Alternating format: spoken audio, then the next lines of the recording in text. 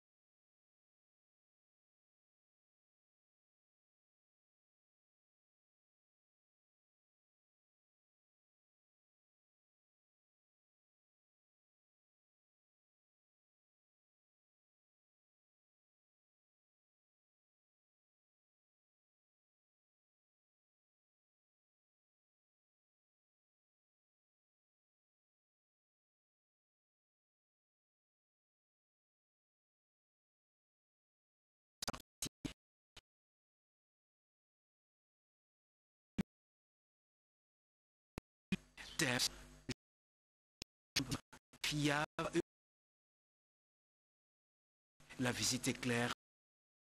Lui, l'Obéti qui initial des par là-bas, ainsi que cette province. La le représentant de la gouverneure, Fifi Masuka, le ministre provincial des ITEPAR, ont pu voir de visu les différents détails d'exécution des travaux qui s'effectuent sur le site jadis envahi par les érosions mortelles qui ont emporté les maisons entières et endeuillé des familles. Très ému, La population du quartier Jolicite a remercié Katoke. Nous commençons d'abord par remercier les chefs de l'État parce que tous travaillent dans la vision du chef de l'État. Nous remercions notre gouverneur ainsi que notre chef secteur pour euh, l'acte qu'il venait de déposer. Pour la remercions. Nous disons vraiment de tout grand cœur et avec l'ensemble de la population de Jolicite, nous la remercions pour ces gestes. Le satisfait qui pouvait s'y lire sur le visage de l'autorité locale, Katoke, à l'issue de la visite de ces travaux financés par le secteur de l'Uilou. Autre chose, dans le cadre de ses vacances parlementaires, l'honorable Simon Moulumba a visité la station provinciale de la RTNC Kassai. de certains euh, signé Franklin et l'honorable Poutou, député national, vient d'effectuer une descente ici à la RTNC, la station provinciale du Kassai, où il est en train de visiter euh, différents bureaux. Et tout à l'heure, à chaud, il nous dit les pourquoi du directeur provincial. Il fallait faire l'état délié, d'abord euh, de la situation de notre établissement public. Il m'a parlé qu'il euh, travaille avec 15 agents qui sont pris en charge. Il y a beaucoup de ses collaborateurs qui ne sont pas pris en charge. Nous allons plaider au ministère des tutelles. Et une fois à Kinshasa, je vais voir euh, Madame la directrice générale faire le lobbying et amener les préoccupations de cette direction provinciale euh, de notre chaîne mère. Le directeur Tati Moulumba, qu'il a reçu dans ses installations, exprime aussi euh, ses sentiments de satisfaction. Je suis satisfait parce que c'est une première personnalité politique à nous rendre visite. Euh, nous avons échangé avec lui par rapport aux conditions de travail. Parce que c'est vrai que nous sommes la RTNC, mais nous ne travaillons pas comme la RTNC. De tout ce que vous venez de voir, c'est dans ces conditions que la radio-télévision nationale congolaise travaille ici dans la province du Kassai. Toujours dans le cadre des vacances parlementaires, l'élu de Chikapa, lui, a été accueilli avec ferveur. Sur place, Serge Junior Lokadi Moulumba a posé plusieurs actions sociales. Cédric Kenina, commentaire. Chikapa dans les Kassai en fusion. Une marée humaine déferle sur les grandes artères pour accueillir un élu, Serge Junior Lokadi Moulumba.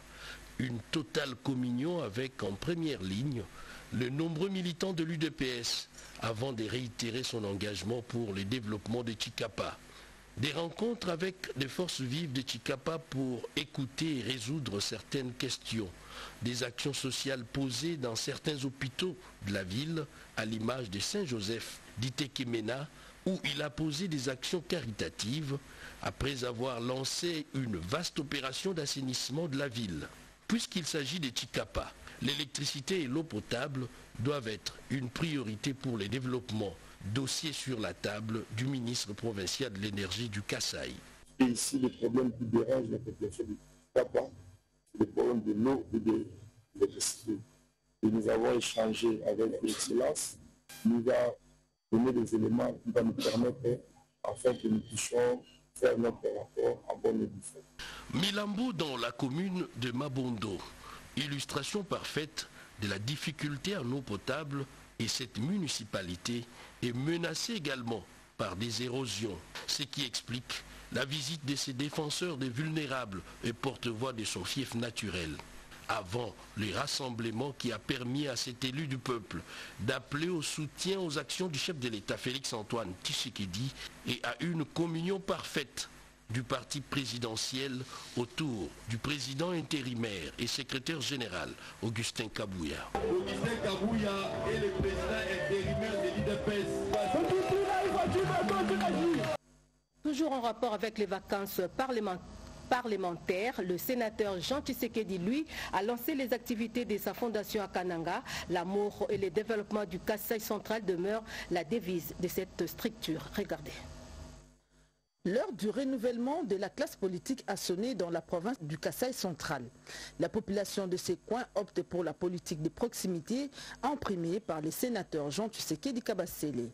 Au cours de la cérémonie de lancement officiel des activités de sa fondation à Kananga, cet élu des élus de l'UDPS s'est vu octroyer un diplôme de l'excellence pour ses différentes actions en faveur de sa base. Nous officiellement ce diplôme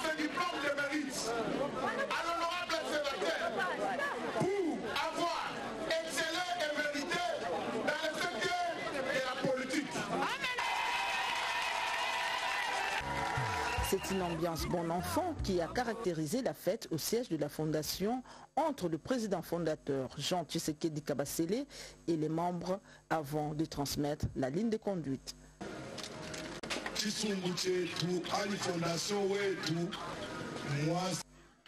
C'est votre fondation, mes frères et sœurs. J'ai étudié et travaillé ici. Votre fondation est fondée sur l'amour et le développement du Kasaï central.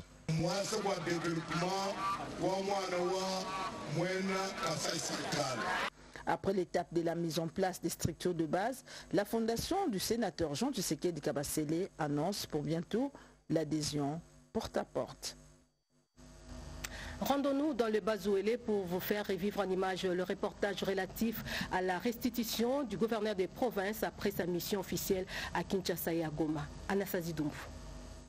Le gouvernement central, à travers le ministère de l'Agriculture, vient de doter la province du Bazouélé 50 tonnes d'engrais chimiques et plus de 40 tonnes de matériel aratoire qui pourront servir à la production agricole dans les Bazouélé. C'est le fruit de la mission officielle que le gouverneur Marc David Moukeni a effectuée dernièrement à Kinshasa et à Goma. Dès son arrivée à l'aéroport de Bouta, le gouverneur Marc David Moukeni fait la restitution de sa mission en saluant la volonté politique du gouvernement central au profit de sa population du Bazuélé. Je reviens avec beaucoup de satisfaction. Les missions qu'on a eu à mener à Kinshasa, à Goma, ont été vraiment fructueuses. Au niveau de Kinshasa, la représentation est à pied d'œuvre pour trouver un bateau pour l'acheminement des outils et des intrants à Bouta et à Kisangani. Pendant ces temps, les victimes des guerres de six jours intervenues à Kisangani en 2000 commencent déjà à recevoir leurs indemnisations. Chaque victime va percevoir un montant forfaitaire de 2000 dollars. C'est un reportage de Dadi Alifi. Devant les guichets de la banque, ces victimes de guerre signent le bordereau des retraits d'argent pour indemnisation individuelle des victimes au nombre de 14 lancés par le ministre d'État, ministre de la Justice et garde des Sceaux, Constant Moutamba lors de son récent séjour à Kisangani pour les jeunes costes. Parmi elles, Tété Solo le Teta, en sanglots, et récupère la somme de 2000 dollars sous l'émotion. Je dis merci de recevoir aujourd'hui l'argent de l'indemnisation malgré que je ne récupérerai plus mes jambes. Je reste invalide pour toute la vie. Un montant forfaitaire octroyé dans un premier temps en attendant la finalisation du contrôle de toutes les victimes, rassure Chansar Bolukola Osoni, coordonnateur national du Frivao, qui en même temps supervise cette opération d'indemnisation, rend hommage au chef de l'État, Félix Antoine Tshisekedi Chilombo. Je réitère en ces jours la vision du chef de l'État qui que toutes les vraies victimes congolaises soient indemnisées. Et je ne peux qu'être fier. Et l'émotion me prétalise de voir l'expression des sourires, mais aussi des confiances à travers le visage des victimes. Cependant, l'opération d'indemnisation des victimes ne connaîtra plus d'arrêt jusqu'à sa fin, rassure Chansar Bolukola Osoni aux victimes. À cet effet, un appel à la patience est donc lancé. Chacun doit attendre son tour dans un laps de temps à laisser entendre Chansar Bolukola en présence de ses collaborateurs, notamment le secrétaire rapporteur et la chargée des finances. Le Parlement des jeunes opte pour une cohabitation pacifique entre l'armée et la population au lac Albert, nous dit Junior Selemani. Le Parlement des jeunes de l'Ituri tient pour responsable la milice Zahir d'être auteur d'attaques de position de FARDC, Assabé, Kasséni et Tchomia dans la nuit du 30 au 31 juillet courant. C'est l'une des résolutions de son enquête menée sur terrain du 13 au 17 août 2024 pour Gloire Abbassi. Il est temps de redynamiser les relations civilo-militaires dans cette entité. Question de faire échec à l'ennemi qui cherche à déstabiliser cette province. Ce sont les miliciens de l'autodéfense Zahir qui auraient bel et bien attaqué les positions des FRDC. La situation que l'Éthiopie traverse nécessite unité et sûrement, on doit l'avouer qu'il y a un sérieux problème de la relation civilo-militaire. D'où je pense à notre niveau, devons travailler là-dessus afin qu'il y ait euh, cette cohésion-là. Comme vous le savez, aujourd'hui, l'Ituri est en train d'être menacé par euh, les M23 que nous sommes en train de condamner. Si et seulement si dans cette zone il n'y aura pas la relation, nous craignons à ce que l'ennemi puisse profiter. Le président de cette structure juvénile plaide pour la relance opérationnelle. Rappelons que la semaine dernière, les forces armées ont neutralisé 2500 Zahir, les armes et munitions et bien d'autres effets militaires récupérés. C'était lors d'une patrouille des combats lancée aux environs de Bourg en retranchement. Pour l'air, le FARDC sont déployés sur la littorale du lac Albert pour sécuriser la zone frontalière avec l'Ouganda. L'urgence s'impose dans la ville des Bandundu, province du Kwilu, où le seul cimetière qui accueille les morts n'a plus d'espace. Après visite, le gouverneur de province entrevoit sa délocalisation. Images et commentaires. La ville de Bandundu dans la province d'Iquilou va bientôt manquer de place pour inhumer les morts. Le seul cimetière que possède le chef-lieu de la province n'a que moins d'un mois pour être full. Face à cette situation, le gouverneur de province Félicien Kiwai Mwadi, accompagné d'une forte délégation composée des ministres provinciaux, des membres du conseil provincial de sécurité et plusieurs personnalités ont effectué une descente ce vendredi 6 septembre 2024 à ces lieux d'animation pour faire les constats et mener une étude afin de délocaliser ces cimetières à un autre endroit. Face à la presse, Félicien Kiwai a précisé ce qui suit. Notre présence ici, c'était sur demande du maire de ville. Il a constaté que dans un mois ou dans quelques semaines, il manquera de place pour enterrer les morts dans la ville de Bandundu. C'est ce, qui vient d'être fait. Nous venons de constater ensemble avec les services techniques et nous sommes maintenant dans des voies de solutions pour euh, demander aux services techniques de nous chercher un endroit pour que prochainement on cherche comment enterrer les gens. Ce cimetière qui n'a que 39 ans d'existence fait face à des constructions anarchiques de la part de la population, chose que fustige les patrons de l'exécutif provincial. On ne peut pas habiter à côté d'un cimetière. À zéro mètre d'un cimetière, vous construisez la maison. Vous n'avez pas pu parcourir certains journaux parus ce matin dans la capitale, pas de souci.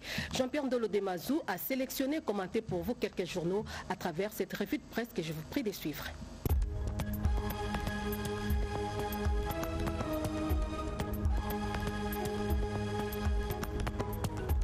Bonjour mesdames, messieurs et bienvenue à cette revue de presse. Ituri, quatre rebelles ADEF tués et neuf otages libérés dans les opérations conjointes FRDC-UPDF annonce le potentiel point CD du 4 au 6 septembre 2024. La coalition entre les forces armées de la République démocratique du Congo et l'armée populaire de défense ougandaise a intensifié ses opérations dans l'est du pays, en particulier dans la région de Biakato et le long des rivières Samboko et Ituri. Selon le lieutenant-colonel Mac Azukai, opérations du 4 septembre ont été marquées par des résultats significatifs. Quatre rebelles ADF ont été abattus et neuf otages libérés.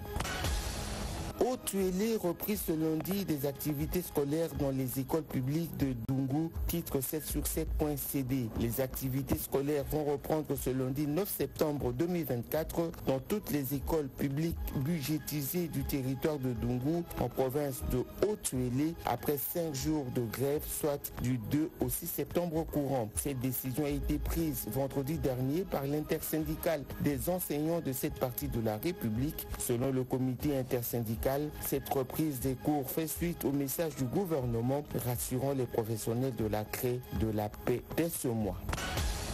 Loubero, les écoles primaires surpeuplées à cause de l'afflux des déplacés, rapporte la référence plus. Au nord Kivu, la responsable de la sous-division de l'enseignement primaire, secondaire et technique de Loubero 1, dévoté Kavira, tire la sonnette d'alarme sur la surpopulation des élèves dans plusieurs écoles primaires publiques de Loubero Centre et ses environs. Cette situation est, d'après elle, due à l'afflux des déplacés fuyant l'insécurité par les rebelles du 1-23 et des ADEF.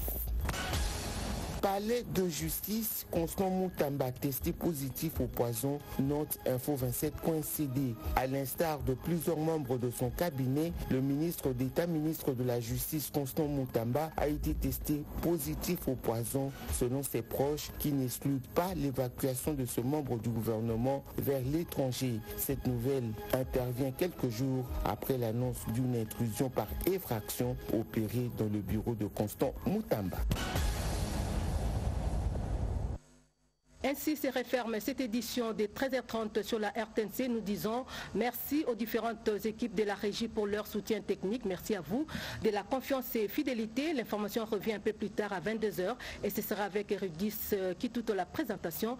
Je vous souhaite de passer une très belle journée en compagnie de nos programmes et surtout prenez soin de vous car chaque jour est une vie.